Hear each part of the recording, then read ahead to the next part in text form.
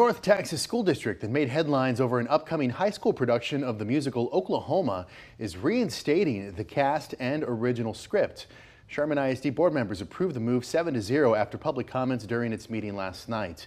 Now, earlier this month, the district said students involved in the musical could not act in roles that did not match a student's assigned sex at birth because of the adult content in the play. Well, after community backlash, the board then took back that decision to remove students and then approved a different version of the play the board said was for all ages. Well, the school board's president issued a statement last night apologizing to the students, parents, and the community, saying in part that it embraces the goals to address the diverse needs of students.